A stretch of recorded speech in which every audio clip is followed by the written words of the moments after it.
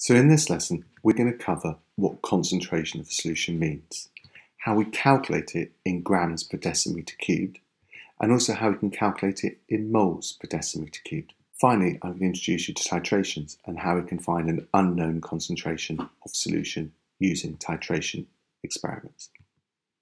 The concentration tells us how much of a solid we've dissolved into a solvent. So we have to state the mass of the solid and the volume of the solvent that we've used. For instance, we might have 8 grams of squash in 400 millilitres of water. So what would the concentration be in grams per millimetre? Well, it would be 8 divided by 400, so that gives us 0.02 grams of squash in every millilitre of water, and that would be the concentration. So how many grams would you need to make 700 millilitres of squash of this concentration? Well, if each milliliter needs 0.02 grams of squash and we've got 700 milliliters, then we just times by 700 and that means we need 14 grams of squash. The concentration of the squash was 0.02 grams per millimeter, but we need to be able to state in chemistry concentration in grams per decimeter cubed, which is a volume.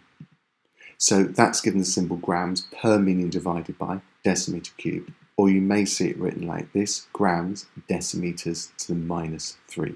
Those are both the same units. How do we convert one to the other? Well, a decimeter cubed is equivalent to one litre, which is a thousand millilitres. So if you want to convert millilitres into decimeters cubed, then you've got to do millilitres divided by a thousand to work out the decimeters cubed, because there are a thousand millilitres in a decimeter cubed. Equally, 1 centimetre cubed is equal to 1 millilitre, so to convert from centimetres cubed into decimeters cubed, you've got to again divide by 1000.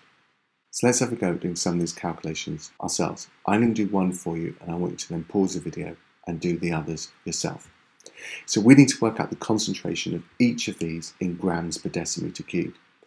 And the first one we have 12 grams of substance is dissolved in 500 millilitres of water, which is 500 centimetres cubed of water. So the concentration will be 12 divided by, and of course it will be 0.5 because that will be 500 divided by 1000. So 12 divided by 0.5 is 24. So get a calculator out, pause the video, and have a go at those, and I'll go through them in a minute. So the next one we've got 50 grams divided by 100.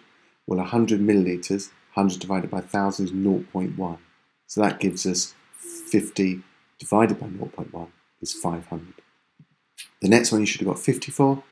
The next one 500 for. Um, because this is 2 kilograms, which is 2,000 grams. So that's 2,000 divided by 4 is 500. And the final one, you should have again got 500 grams per decimeter cubed. So we only measure concentration in grams per decimeter cubed, we also measure concentration in moles per decimeter cubed. So to convert the number of moles into concentration, we just use the following equation. Moles divided by the volume in decimeter cubed. Now, in exam questions, you're normally given the number of moles, and you'd either be given the number of moles or you'd have to calculate it from the mass dissolved and the molar mass, which we'll come to in a minute. You'd be given the volume, but you'd normally be given it in centimetres cubed in order to check that you understand how to convert it into decimeters cubed. Then, of course, you'd work out the concentration, which would have to be in the unit moles per decimeter cubed. And that's often written as capital M to stand for molar concentration, which is moles per decimeter cubed. So let's do some examples. First of all, calculate the concentration of the following solutions in moles per decimeter cubed. I'll do the first one for you, you do the other two yourself. So we've got 0.1 moles, but it's in centimeters cubed, so I need to divide by 1000, which is 0.2. So that's 0.1 divided by 0.2, so that's 0.5 moles per decimeter cubed. Pause the video and have a go at the other two. So did you get 2 moles per decimeter cubed and 0.8 moles per decimeter cubed. Now for this one, I want you to use the equation again, but calculate the number of moles of each species in the following solutions. Species means the type of compound. So we've got three different compounds here, three different species. Answer the first one, you do the other two yourself. So to calculate the number of moles, that's going to equal concentration times by volume. So in this case, I've got the concentration is 0.2, but that's in moles per decimeter cube, and I, of course, have been given centimeters cube, so I need to divide by 1,000. So that is how many moles I have in that solution. Pause the video, have a go at the other two. So did you get 0.0375 moles? And finally, 0.005 moles. Now, both of those, I quoted the concentration in moles per decimeter cubed or told you the number of moles. This is an example where you have to first of all work out the number of moles in your solution, knowing the mass that you've dissolved. So I'll go through this one, I want you to then do one yourself. So we have 23.5 grams of sodium hydroxide is dissolved into 500 centimetres cubed of water. Calculate the concentration in moles per decimetre cubed. The first thing I want to do is to work out how many moles I have of sodium hydroxide. I have 23.5 grams. So the number of moles is the mass divided by the molar mass. So we've got 23.5 divided by, that's the molar mass of sodium, that's the molar mass of oxygen, and that's the molar mass of hydrogen. I've got one atom of each of those. And that gives us the total number of moles as 0.5875 moles. So next, the easier bit, concentration is moles per decimeter cubed. So that's going to be moles divided by decimeter cubed. And that gives us that value there, which of course can also be quoted as 1.175 molar because that molar solution means moles per decimeter cubed. So next thing, calculate the number of moles of sodium hydroxide in 25 centimetres of solution. We're using the equation, the number of moles is the concentration times the volume. We've got the concentration in moles per decimeter cubed. We've got to convert this from centimetres cubed into decimeters cubed by dividing by 1000 and that is how many moles we have in that solution. Pause the video, you will need your periodic table which you can get from the back of your revision guide for combined science or the back of your revision guide for triple chemistry. Once you've got that, work out these and then I'll go through them in a minute. So to calculate the concentration, first of all, I'm changing the volume from litres into decimetres cubed. And a bit of a trick here, a litre is a thousand centimetres cubed, which is a decimetre cubed. We've then got the molar mass of magnesium chloride is 24 plus 2 for the chlorine gives us 95 grams. So therefore the number of moles is the mass divided by the molar mass, which is 45.7 divided by 95, and that gives us 0.481 moles. So finally the concentration is the number of moles divided by the volume, and you should have got 0.2 moles per decimeter cubed or 0.2 molar solution. The next bit the number of moles in this amount of solution is just the concentration times the volume. So you've got the concentration, you've converted the volume to decimeters cubed, and you should have got 0.06 moles. If you got that right, well done. So let's now have a look at how we use titrations to find the concentration of unknown solution. If you're watching this video for Combined Science GCSE, you can stop the video now, you don't have to know this bit. If you're watching it as a triple science student, for AQA, you do need to know about titration concentrations.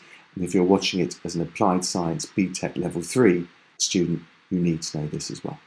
So here we've got a standard solution. A standard solution is a known concentration calculated very accurately or made up very accurately. And this is of sulfuric acid, and the concentration is 2 molar, which means 2 moles per decimeter cubed. And we're going to put exact value of 20 centimeters cubed into it by using a graduated pipette. We're then going to add an unknown concentration of an alkali, sodium hydroxide, and we can use a burette to do that. So first of all, you want to know the volume of the sodium hydroxide we're going to add to sulfuric acid to neutralise it. So we put an indicator in here or use a pH probe. And we first of all measure the initial volume reading here on the scale of burette. We then add enough sodium hydroxide, alkali, until our indicator shows us that it's gone neutral, or we could have used a pH probe. And that will give us the final volume. And so we take the initial volume away from the final volume, and we get the volume of sodium hydroxide, which in this case could be 25 centimetres cubed or 25 millilitres. So how can we now use these results to work out the unknown concentration of our sodium hydroxide? Well, just to remind you, we added 25 centimetres cubed volume of sodium hydroxide, which we didn't know the concentration of, to completely neutralise the reaction with 20 centimetres of 2 molar sulfuric acid. So first thing is we need to produce a balanced equation for the reaction, which I've given you here. So this shows you 1 mole of sulfuric acid reacts with 2 moles of sodium hydroxide to neutralise it. So next step is we can add this to a table. Now in your exam you won't have this table in front of you but the table helps to work out the process and then I'll show you how to do it without the table. So what I've got here is the compound and we had sulfuric acid and we've also got sodium hydroxide. Next thing I'm going to record down is the ratios of the reactants. So we've got one mole of sulfuric acid reacts with two moles of sodium hydroxide from our balanced equation. I'm then going to add the volumes of both that we've done. We knew the volume of that, 20 centimetres cubed, and then we measured the volume of the sodium hydroxide to neutralise that 20 centimetres cubed. The next thing I'm going to put in is the other thing we know, which is the concentration of the sulfuric acid, which was 2 molar solution. So now that I've put all the things I know in, I've now got to work out these values in order to work out my final goal, which is the concentration of sodium hydroxide. So first thing I want to do is to convert the volumes from centimetres cubed into decimeters cubed by divided by 1000. The next thing I need to do is to work out the number of moles of sulfuric acid that I had. And remember from this equation here, the number of moles is concentration times volume. So for this one here, I had a concentration of 2 and the volume was 0.002 decimeters cubed. So I've got total number of moles of sulfuric acid I've used is 0.004. So now the number of moles of sodium hydroxide is double the amount of sulfuric acid, so that automatically gives us twice that, which is 0.008 moles, which allows me now to work out the unknown concentration of sodium hydroxide because of course concentration is the number of moles divided by the volume. I have the number of moles and I have the volume, so that gives me the number of moles divided by the volume, 3.2 moles per decimeter cubed, or 3.2 molar solution. Sometimes they don't want the answer in moles per decimeter cubed, they want the answer in grams per decimeter cubed. So all we have to do is to work out what is the mass of 3.2 moles and we can substitute that in. So remember mass is the number of moles times the molar mass. And the molar mass for sodium hydroxide is 23 plus 16 plus 1, which is 40 grams. So if we've got 3.2 moles, then of course the mass will be 3.2 times the molar mass, which is 40, which is 128 grams, we will dissolve in a decimeter cube. So what you do now is to have a practice at this on yourself. Read through this section here. I've filled in the bits we already know, so then have a go at filling the rest in to find the concentration of hydrochloric acid. So again, the first thing is we need to convert the volumes into decimeters cubed from centimeters cubed.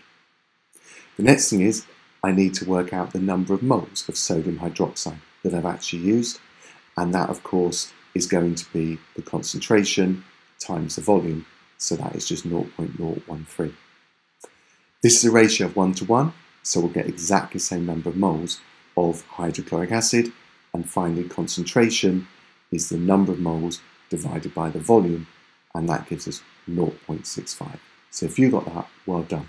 Finally, we're also asked about the concentration in grams per decimeter cubed. So the molar mass of hydrochloric acid is just the molar mass of chlorine 35.5 plus 1 for hydrogen. So that gives us 36.5. So, of course, grams is the molar mass times the number of moles. So that gives us 23.725 grams per decimeter cubed. Now, of course, in your exam, you won't have time to set a table up like this, and you don't actually need the table in order to answer the questions. So before you go away and practice your own questions, I'm just going to show you a different way of doing it without the table. So what we have is 25.5 centimeters cubed of sodium hydroxide solution reacts with 25 centimeters cubed of 0.1 mole per decimeter cubed of hydrochloric acid. So we know the concentration of hydrochloric acid and we know its volume. So we're trying to find out the concentration of sodium hydroxide in this neutralization reaction. And you can see there's a ratio of 1 to 1 between them. So it asks first of all to calculate the concentration of sodium hydroxide solution and give an answer to three significant figures. We're then asked to convert it from moles per decimeter cube to grams per decimeter cube, again to three significant figures. So let's start first of all by reminding ourselves we need to know the number of moles of hydrochloric acid that we've used. So that's our starting point. So the number of moles of hydrochloric acid is the concentration times the volume. That's the concentration. We've converted the volume from centimetres cubed into decimeters cubed by dividing by 1000. So that's the number of moles of hydrochloric acid. Of course, it's a ratio of 1 to 1. So the number of moles of sodium hydroxide, which is the unknown solution, is going to be exactly the same. So now we can work out the concentration of sodium hydroxide, just moles divided by volume. That's the moles.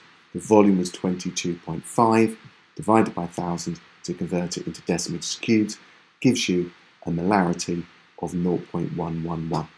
Lastly, we're going to convert that from moles per centimetre cubed to grams per decimeter cubed by just multiplying by the molar mass which is 40 for sodium hydroxide. And that's it done. What you need to now do is go away and do lots of practice questions on this so you remember the technique and start to feel confident with it.